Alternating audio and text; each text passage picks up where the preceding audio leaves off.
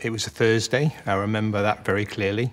I was a 13 year old kid. The last thing I said as I went out the door to Zoë was, I love you. I can't remember saying goodbye to her. I can't remember the words the police officers actually said to me.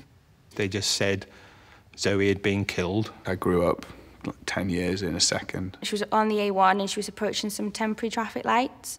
A vehicle came up behind them at 60 miles per hour, didn't see the traffic lights, and didn't brake at all. The pillar where the seatbelt is fixed, that had caved right in on her and killed her, so obviously she died of head injuries. I knew that there'd been an accident and somebody had been arrested and he'd been on his phone. People use the word accident. It wasn't an accident. It didn't come about by accident. It was a road crash caused by somebody doing something that he shouldn't have been doing.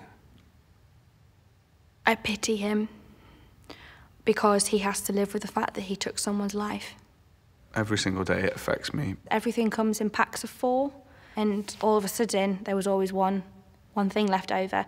I kind of miss being told off by my mum. Benjamin, Paul, Carvin, get to the top of the stairs right this second. And it really is the little things to, you take for granted that you wish, you wish you could do now.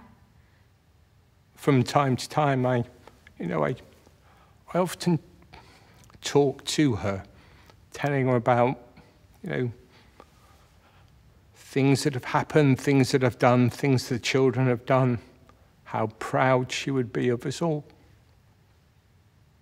Everything died on that day because that man decided to pick up his phone.